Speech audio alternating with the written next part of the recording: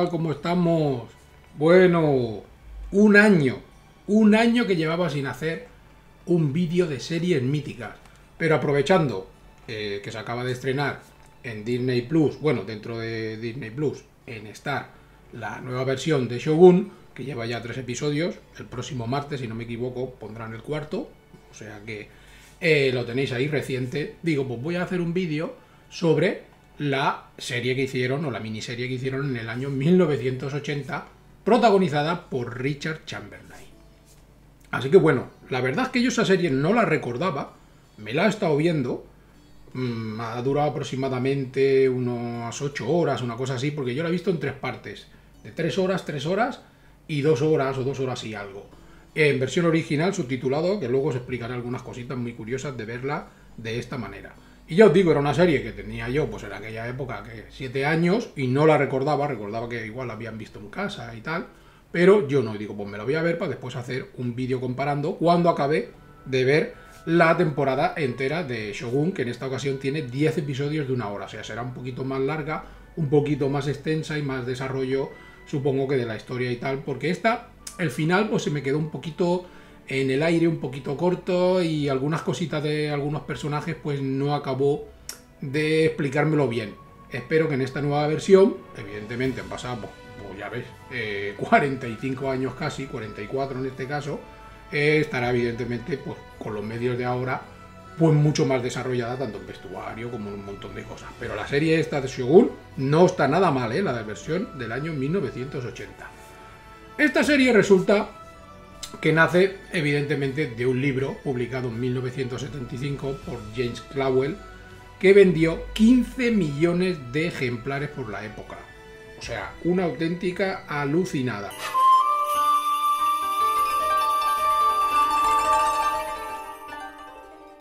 ¿Y cómo surgió la idea de la miniserie? Pues, como comentaba antes, después de la publicación del libro, empezaron a darse de tortas entre todas las productoras para ver quién conseguía los derechos.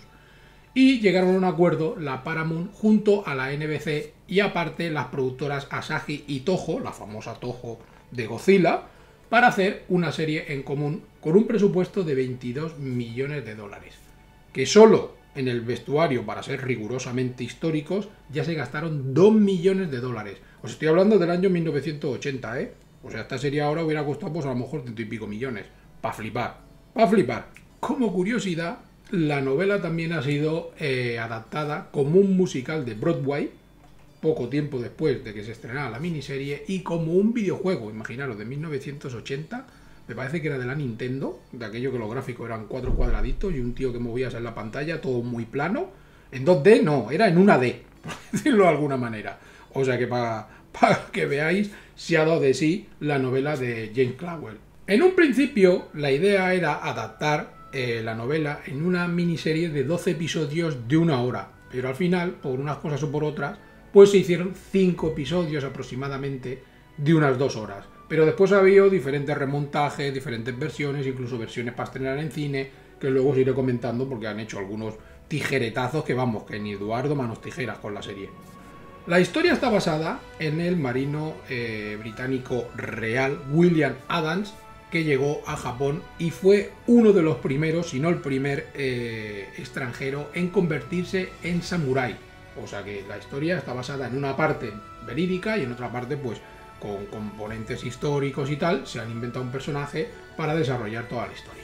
Los samuráis básicamente servían a un señor supremo, conocido como el shogun, que era como el jefe militar de toda la zona, que solo rendía cuentas delante del emperador. O sea, estaba el emperador, estaba el shogun, que movía todo como si fuera aquí un capitán general, por decirlo de alguna manera, y los samuráis que estaban al servicio, como si fueran aquí los soldados. En la miniserie, como os comentaba, le han cambiado el nombre al protagonista, al marino este inglés, y se llama John Blackthorne, que es quien representa Richard Chamberlain. Y es un marino que llega pues a bordo de una galera de origen eh, holandés y por una tormenta se quedan barrancados en las costas de Japón, lo hacen prisionero a él junto con sus hombres porque no se fían mucho de dónde viene, se piensan que son piratas y a dónde vais y qué queréis hacer. Una vez que nuestro protagonista John está allí, pues tendrá que lidiar con diferentes problemas, sobre todo con los portugueses y con los jesuitas que ya están allí afincados y tienen tratados de comercio con Japón y algunas cositas así. También está instaurado el cristianismo, que es una religión pues, que está en auge, pero después poco a poco tendría una caída, luego lo comentaré en el periodo histórico, pero caerá en gracia eh, de un señor feudal, Yoshi Toranaga, que no está muy contento con el tema del cristianismo y con todos los extranjeros que están por allí, y harán un intercambio de conocimientos, de sabiduría. Uno le enseñará pues, cómo tiene que construir los barcos, cómo se construye un galeón y tal, eh, costumbres tan curiosas como un baile y tal, y el otro le empezará pues a explicar cómo funciona la cultura japonesa, le pondrá una intérprete y poco a poco pues irán haciendo un intercambio. Básicamente John se empezará a meter cada vez más en la cultura japonesa. Por allí detrás también habrá una historia de amor, también habrá drama, luchas, aventuras, un poco de todo.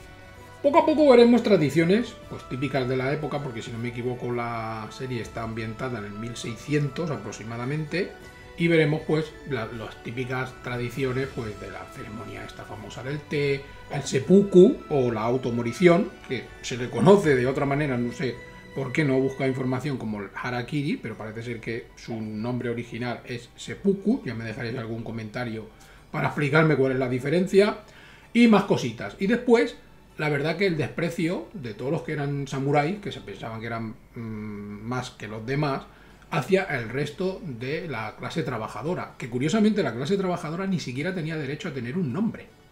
Ni siquiera tenía derecho a tener un nombre, porque hay algunas escenas que sale eh, John, nuestro protagonista, diciéndole, ¿cómo se llama este hombre? Y dice, este es el pescador. ¿Pero cómo pescador? Porque trabaja de pescador, pues se llama pescador, igual que aquel.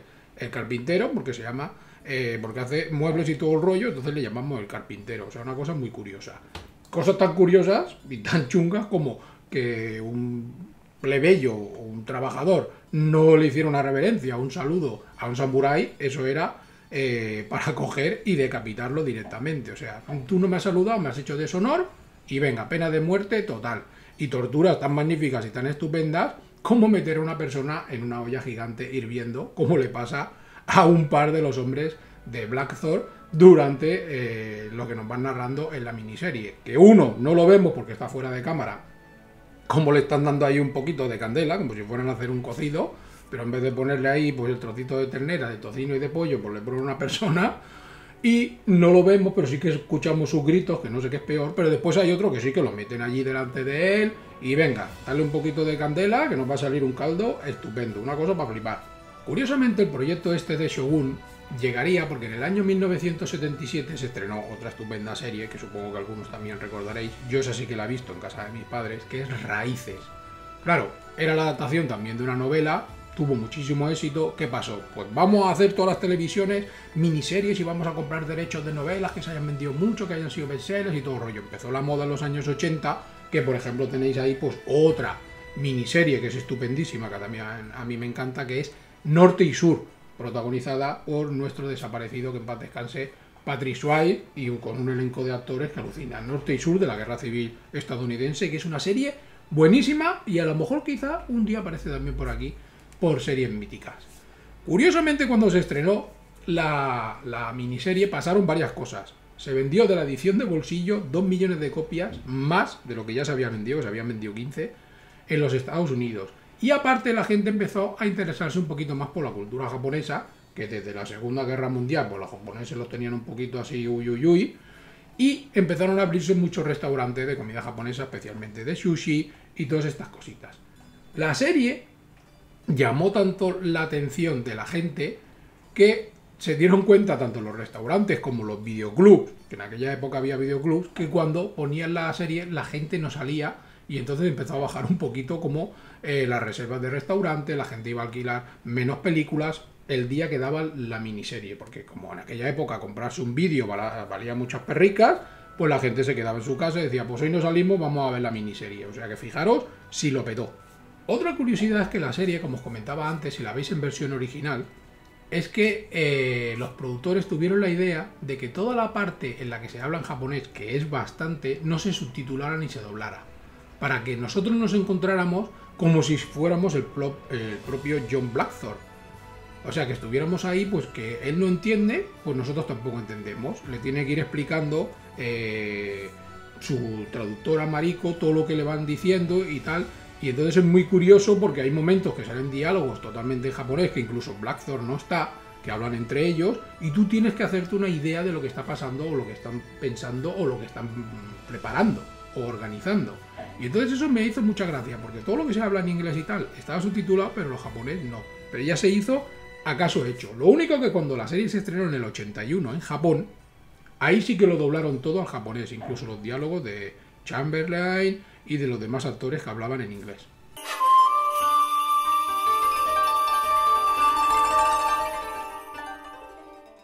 La ambientación de la serie aproximadamente, eh, periodo histórico, está situado en la época que se llamó de comercio Namban o el comercio con los bárbaros del sur.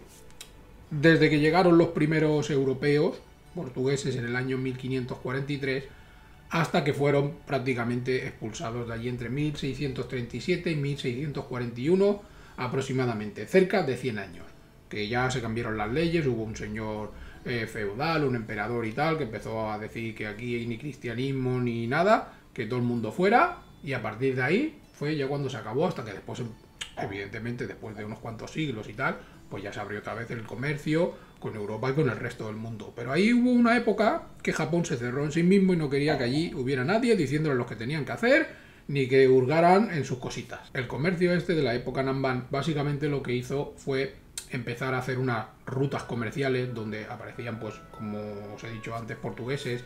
Empezaron a ir a algunos misioneros también de origen portugués, sobre todo tema jesuita, pues a llevar el cristianismo a Japón, que se hizo mucha gente creyente de cristianismo. Y empezaron a introducir, pues, algunas cosas que no tenían en Japón, por ejemplo, el azúcar. Por ejemplo, la construcción de barcos tipo galeones o algunas cositas más y ellos evidentemente pues también se empapaban de la cultura japonesa. Todo esto del comercio empezaría a disminuir una vez eh, entró el periodo Edo, donde el shogunato Tokugawa, creo que lo estoy pronunciando bien, empezaron a hacerse una serie de cambios. Tokugawa básicamente empezó a hacer una serie de leyes, una serie de normas en que el cristianismo estaba prohibido, que no lo quería allí, que había que expulsarlos. De hecho, hubieron matanzas de muchos cristianos, empezó a perseguírsele, empezaron a matarlos, a quitárselos de en medio, a expulsarlos de Japón. Se tenían que esconder, los japoneses que se habían hecho cristianos, en cuevas o en algunos sitios para poder pues, practicar su religión, porque si no, los pasaban a espada de samurái. De hecho, el cristianismo empezó a desaparecer o prácticamente lo extinguieron. Después ya, pues sí ya había un poquito más de cristianismo y tal, cuando ya se abrió Japón otra vez al mundo, como lo estaba diciendo básicamente a finales del siglo XVII.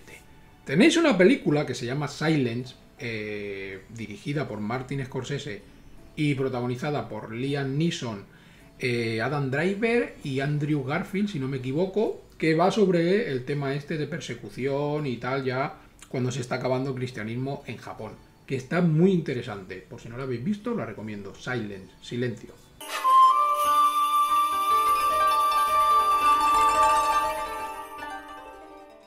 Bueno, en primer lugar tenemos a nuestro querido Richard Chamberlain como John Blackthorne, este marino que llega allí a las costas japonesas, lo hacen prisionero, después empieza a empaparse de la cultura y tal como os he explicado antes. Nacido el 31 de marzo de 1934, o sea que va a cumplir este año 90 añazos. Y es curiosa la historia de Richard Chamberlain porque tras su regreso de la guerra de Corea, que fue allí militar, empezó a trabajar un poquito en el tema de la televisión, básicamente pues en anuncios publicitarios y tal, hasta que en los años 60 lo cogieron de protagonista de una serie de médicos y entonces ya empezó a hacerse popular en los Estados Unidos. Aquí en España se empezaría a hacer popular y archiconocido como casi todo el mundo con otra adaptación de una novela, El pájaro espino, en el año 1983. Porque aunque se estrenó en el 80-81 aquí en España la serie de Shogun, cuando él realmente se hizo famoso fue con la serie esta del pájaro espino, aquella historia del cura que se enamora de una chica y bueno, ahí hay una historia de amor y tal. Bueno, si no lo habéis visto, preguntadle a vuestros abuelos y a vuestros padres por el pájaro espino, mitiquísima serie de los años 80. También apareció en películas como por ejemplo en la versión de los tres mosqueteros del año 1973 y después tuvo una secuela, Los cuatro mosqueteros, haciendo de Aramis O en el año 74, en la mitiquísima película de catástrofes El Coloso en Llamas, que aquí hacía de chungo. Hacía de un arquitecto que, para meterse los dinericos en el bolsillo, pues decía, pues voy a construir esto que va a costar 50 millones, pero en verdad 20 millones iban para bolsillo, ponía los materiales más baratos y después aquello ardía, vamos, como si no hubiera mañana. Es curioso porque en un principio eh, James Clawell, el escritor de la novela, no quería a un actor que no fuera británico para el papel. Y principalmente le pidió y le rogó, lo que pasa que lo rechazó, a Sean Connery que fuera el protagonista. Sean Connery estaba por otros temas en aquella época y dijo que no. Y Richard Chamberlain se ofreció, pero automáticamente Clawell le dijo, no, no, yo no quiero un actor que no sea británico para hacer el papel. Pero Richard Chamberlain, que era un poquito cabezón, R que R, se dejó la barba, se presentó de nuevo al casting y al final acabó convenciendo tanto al escritor como a los productores y fue cuando lo ficharon. La verdad es que se preparó súper bien. Se preparó pues aprendiendo pues, manejo de las katanas, aprendió también algunas palabras del idioma. Todo eso si lo veis en versión original está muy bien porque mm, habla, empieza a hablar japonés y todo el rollo, le va enseñando su traductora algunas palabras y tal, pero la verdad que está muy curioso como lo vemos hablando en japonés y según va avanzando la serie cada vez más. También aprendió a hacer la famosa ceremonia del té y el tío se metió un montón en el papel. Después tenemos al conocido eh, Toshiro Mifune como Yoshi Toranaga, uno de los señores o de los cinco señores que hay en aquella época y que eh, sus aspiraciones es llegar a ser un shogun, un líder militar supremo. Y curiosamente, aunque todo el mundo piensa que japonés, nació en China en el año 1920. Sus padres sí que son japoneses, pero él nació en China. Pero bueno, ha sido adoptado por Japón y sobre todo lo conoceréis los que sabéis un poquito de cine o habéis visto películas antiguas, porque era el actor fetiche de Akira Kurosawa. Curiosamente, antes de meterse en el tema del cine, estuvo unos años en el ejército, que casual, como Richard Chamberlain, y trabajó también de fotógrafo con su padre. O sea, que ahí empezó a entrar ya el mundillo del cine por dentro, fotografía, y a ver esto cómo hace, y esto cómo funciona y tal. Es curioso porque el director de la serie, eh, el día que se presentó al casting o querían hablar con él y tal, venía de traje, con un suéter de cuello alto y tal, y dice, pues en un momento no lo reconoció y no pensaba que era Toshiro Mifune, porque claro, lo había visto en, en películas de Kurosawa y todo el rollo, y siempre una presencia suya y tal, pues impactaba bastante. Pero en el momento que hizo la prueba de vestuario, ya con su bigotito, vestido de samurai y tal, pues la verdad que se quedaron todos como diciendo, hostia, pues sí que es Toshiro Mifune, ¿eh? Cosas del cine.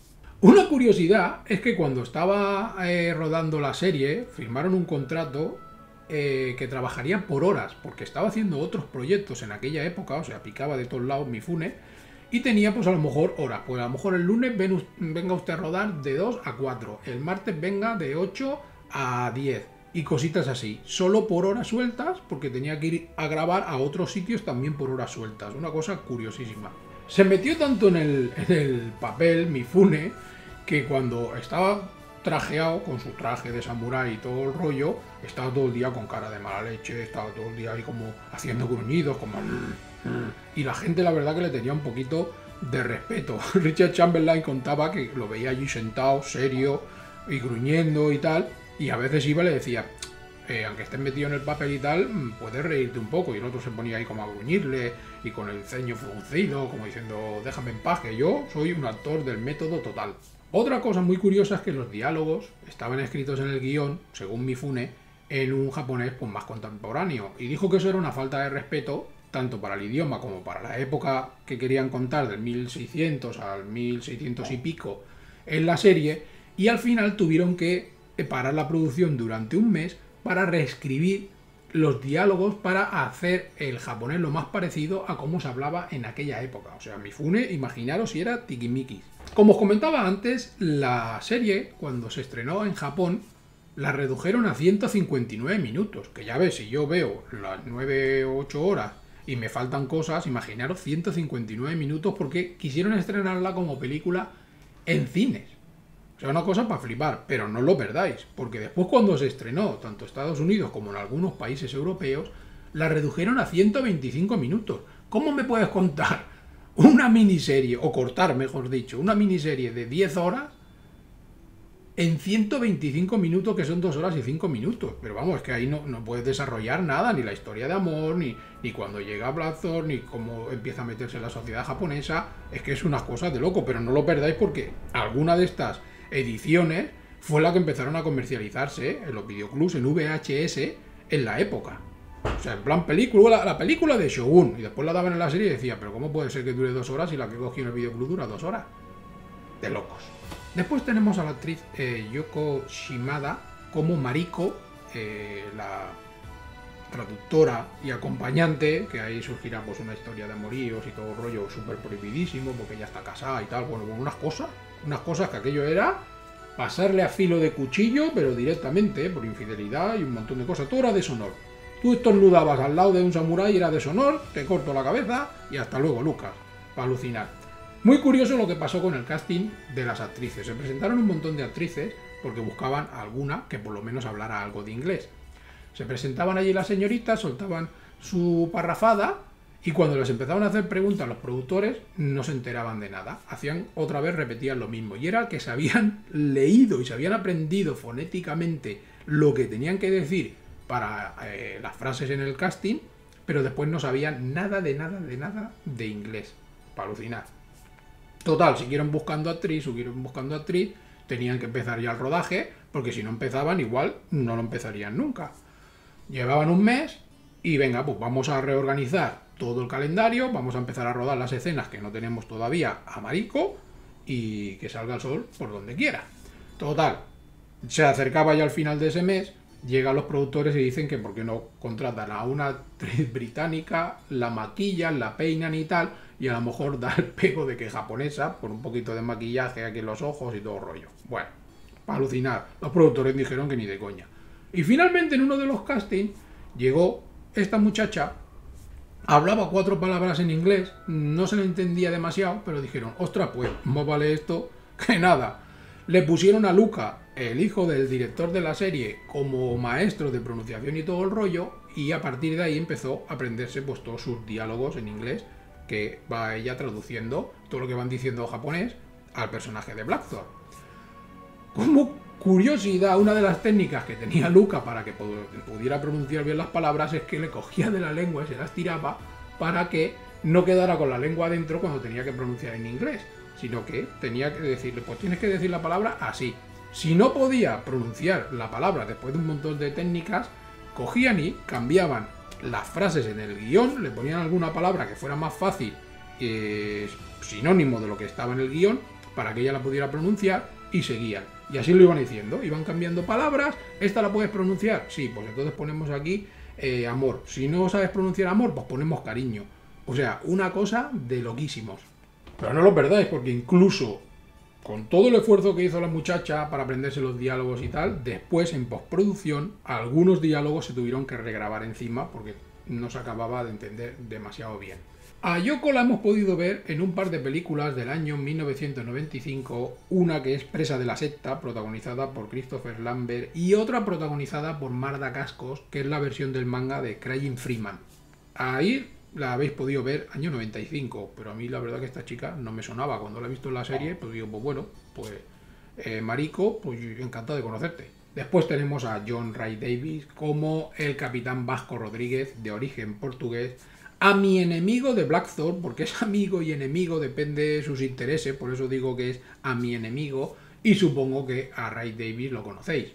En aquella época no era conocido, básicamente había hecho mucho teatro o estaba haciendo mucho teatro y lo ficharon cuando se presentó al casting porque la presencia y tal les gustó y entonces hablaba así con un poquito de acento portugués, se preparó un poquito para el tema del casting, pero me imagino que lo conocéis sobre todo por dos papeles. Salat en las películas de Indiana Jones, el amigo egipcio y tal, que les ha acompañado en más de una aventura, y después Gimli, el eh, nano de la película de, o de la trilogía del Señor de los Anillos de Peter Jackson. Básicamente lo tenéis ahí, que ha hecho muchísimas cosas más, muchas más, pero sobre todo lo situáis por esas dos eh, películas o esa serie de películas. Que por cierto, de la trilogía original de Indiana Jones tenéis un vídeo de cada una aquí en el canal. Trilogía original. Dicen que hay una cuarta y una quinta parte, pero yo no lo recuerdo. Después tenemos algunos secundarios como Michael Jordan, que hace del padre Domingo, que conoce en la prisión eh, Black Thor. Y a este actor de origen británico eh, lo hemos podido ver pues, en películas como Cleopatra, El Cid y en algunas más. Y como curiosidad, he visto que en el año 1981 se hizo una adaptación del Señor de los Anillos para la radio de la BBC y él hizo de Gandalf. Y digo, pues mira, este dato me parece curioso y lo voy a poner. También ha participado en una película de la Segunda Guerra Mundial muy buena, eh, que sale Clint Eastwood y Richard Barton, si no me equivoco, El desafío de las águilas. Yo no sé si la habéis visto, que tienen que ir a un castillo y tal. Bueno, no os quiero explicar nada. Si no la habéis visto, ver esa película porque es una flipada, El desafío de las águilas. Después tenemos a Damien Thomas como el padre Albito, otro actor británico. Yo digo que Clawell, el escritor de la novela, quería actores británicos. Y a este actor lo hemos podido ver pues, en películas como eh, Julio César o Sinbad y El Ojo del Tigre. Otro personaje muy curioso es Yabu, eh, protagonizado o encarnado por Frankie Sakai, un actor y comediante japonés que se hizo súper popular con muchas comedias en aquella época. Y me hace mucha gracia porque tiene una presencia así también de serio y tal, era uno de los primeros papeles serios que hacía, porque siempre había sido comediante, y me hace mucha gracia la presencia que tiene y también cómo está refunfuñando. Yo creo que se fijaba un poquito en mi fun y decía, pues qué hace yo más o menos lo mismo y así le doy empaque a mi personaje. Como curiosidad apareció dentro del Monsterverse japonés en el año 61 en la película de Motra, y después, por último, también tenemos la presencia de Alan Badel como el padre del Aqua, otro actor británico de televisión y de cine, que lo habéis podido ver como el ministro del Interior francés en la magnífica eh, versión del año 1973 de la novela Chacal, que hicieron la película. Después está también una versión moderna protagonizada por Bruce Willis y Richard Gere, que por cierto tenéis vídeo aquí en el canal, dejaré por aquí enlace. Y también lo habéis podido ver en otra película de guerra muy buena que es Fuerza 10 de Navarone también. Otra película que os recomiendo junto con la del desafío de las águilas. Y como curiosidad, cuando busqué información de la serie y tal, el narrador que va saliendo en algunas partes, sobre todo en versión original, en castellano no lo vais a pillar, es Orson Welles. Yo creo que no hace falta que os diga quién era Orson Welles. Vosotros mismos.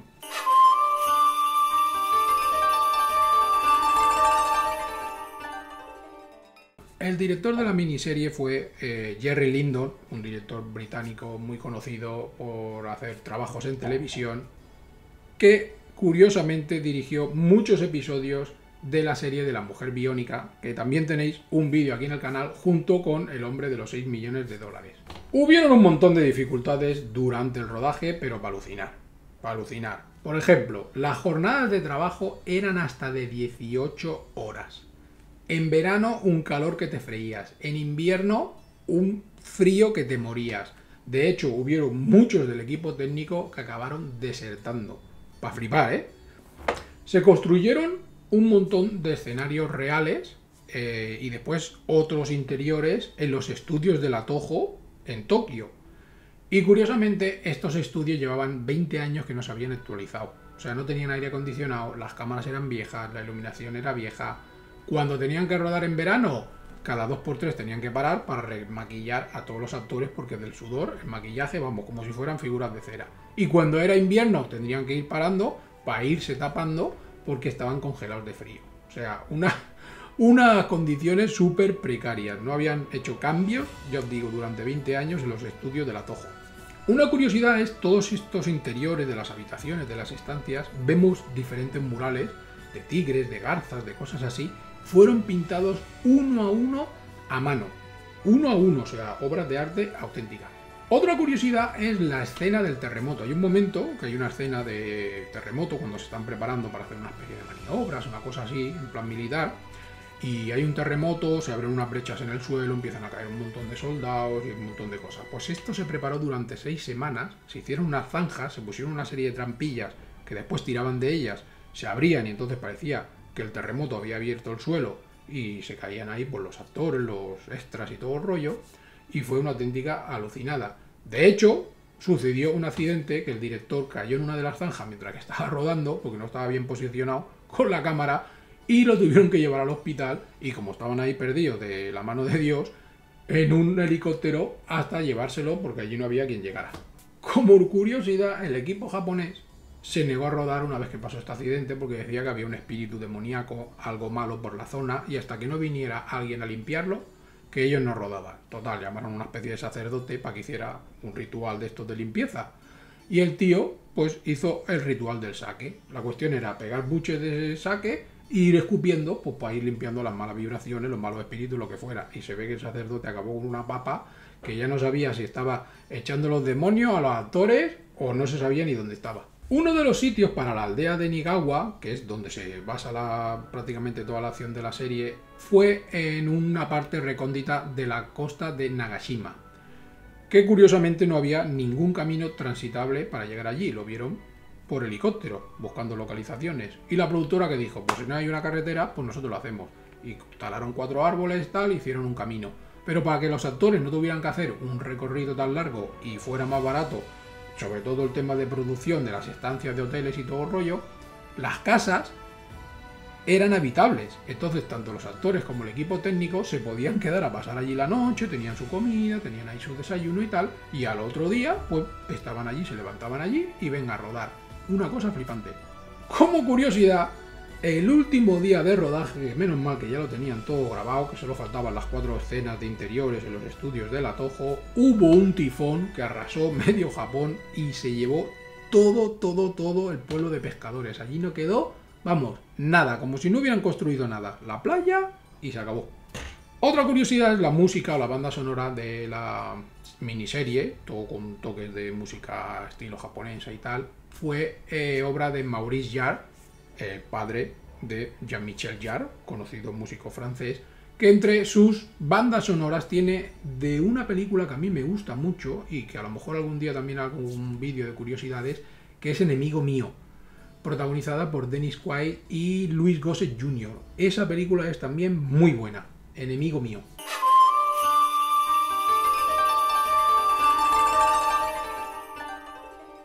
Bueno, unas poquitas más de curiosidades, aunque ya habéis visto que os he dado casi todas repartidas por el vídeo.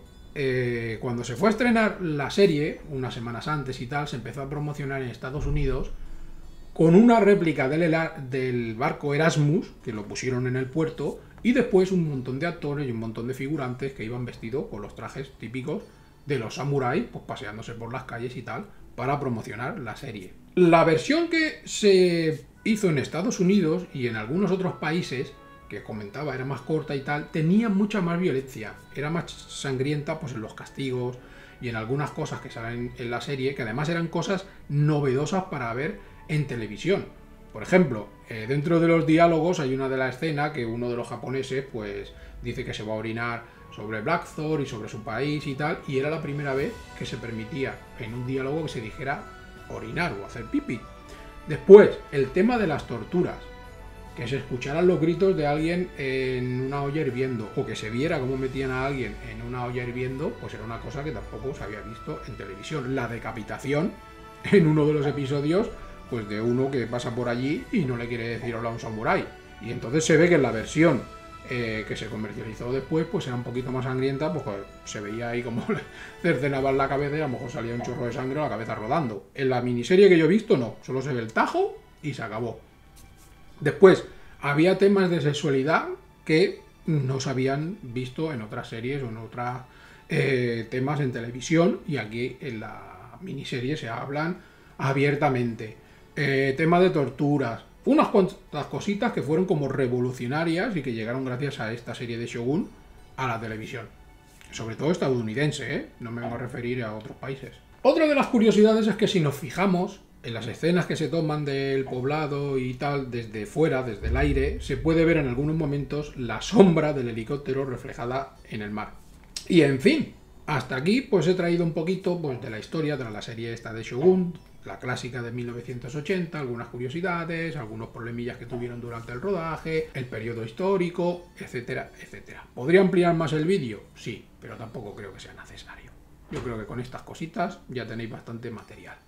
Así que bueno, ahora me queda ver pues la serie, la versión del año 2024 de Shogun y después pues seguramente haré un vídeo pues comparando las dos, que me imagino que la de ahora supongo que ganará un poquito más que la de 1980. Pero bueno, hay que esperar porque yo creo que el protagonista, Richard Chamberlain, con el protagonista de la nueva, yo creo que a lo mejor Chamberlain está mejor. Así que hay que esperar un poquito, solo faltan Seis episodios, esta semana ya dan el cuarto, seis episodios para que os haga mi vídeo comparativo.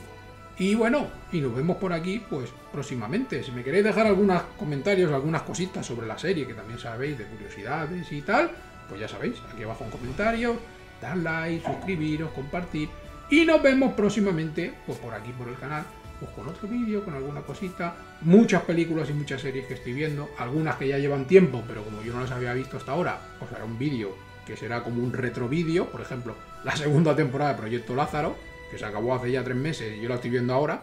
Imaginaros cómo voy de faena. Y más cositas. Nos vemos próximamente por aquí.